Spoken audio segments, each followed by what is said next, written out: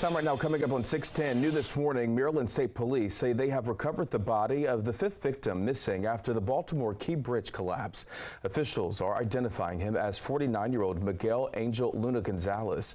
They say he is from Glen Burnie. Right now, only one of the eight workers is still missing. This latest recovery comes as crews plan to remove the ship within the next 10 days to allow more traffic through Baltimore's port.